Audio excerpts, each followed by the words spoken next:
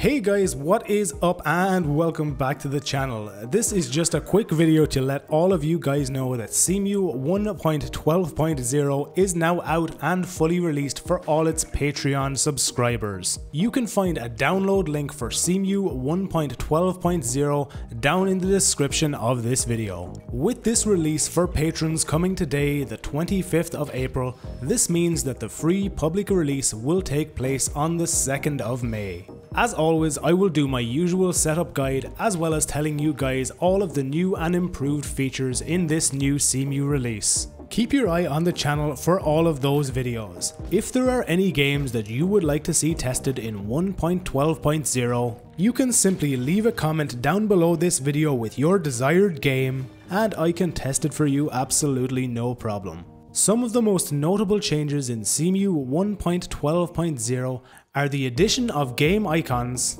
the addition of the ability to navigate with your arrow keys, the addition of a friends list for online gameplay support, and for the addition of Wii U friend lists, and also the addition of native Wiimote support.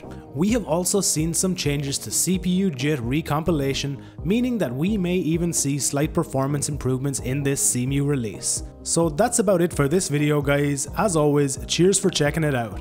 Remember to like it if you liked it, dislike it if you didn't, and subscribe to the channel if you want to see all future videos from me.